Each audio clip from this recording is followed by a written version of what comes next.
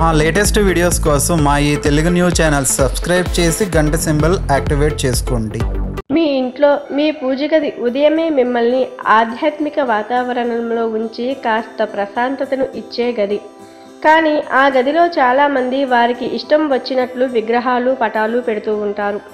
ఇలా ఉంచటం అస్సలు మంచిది కాదంటున్నారు జ్యోతిష్య నిపుణులు. పూజ గదిలో దేవుడి విగ్రహాలు చిత్రపటాలు పెట్టుకోవడానికి కొన్ని పద్ధతులు ఉన్నాయి. కొన్ని పద్ధతుల ప్రకారం పెట్టమని మన పెద్దలు ఏనాడో చెప్పారు.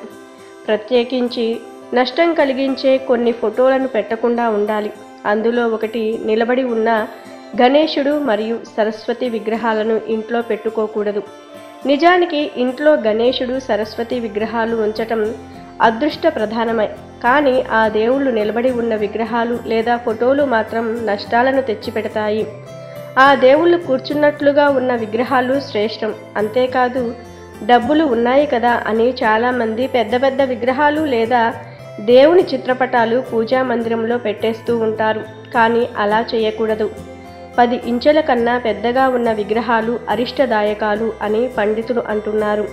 అవన్నీ గుళ్ళల్లో పెట్టుకోవడానికే తప్ప ఇళ్ళల్లోని పూజా గదిలో పెట్టుకోవటం కోసం కాదు. కొంతమంది పెద్ద పెద్ద వినాయక విగ్రహాలను ఇళ్ళల్లో ఉంచటం కోసం పెడుతూ ఉంటారు. అవేవి మీకు కానీ మీ కుటుంబానికి మీ ఇంటికి మంచివి కావు. ఎక్కువ సంఖ్యలో కూడా విగ్రహాలను పూజా మందిరంలో పెట్టుకోకూడదు. మీ కులదైవాలను మీ ఇష్టదైవాలను ఆరాధిస్తే చాలు. విగ్రహాలను మరి కటిక నేల మీద కాకుండా కాస్త ఎత్తులో ఉండేలా చూసుకోవాలి. మీరు కూర్చున్నప్పుడు మీ ఛాతి ఎత్తుకు దేవుడు పాదాలు ఉన్న ఎత్తుకు సరిపోయేలా చూసుకోవాలి. అంతేకాదు పూజ గదిలో ఎప్పుడు క్రింద కూర్చోకూడదు. చాప లేదా వస్త్రం వేసుకొని దాని మీద కూర్చోవాలి. మరణించిన మీ పెద్దల ఫోటోలను పూజ గదిలో పెట్టుకోకూడదు. బయట గోడలకు తగిలిస్తే చాలు. లేదా దక్షిణ దిక్కులో పెట్టుకుంటే సరిపోతుంది.